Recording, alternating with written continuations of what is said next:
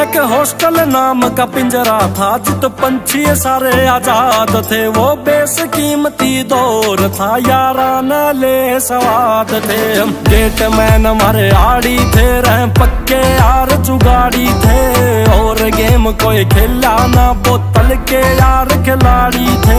room के कुंडी ला के न पटियाला पैग बना के न फिर चमट मार के डोली, तरह ला कर रेस टका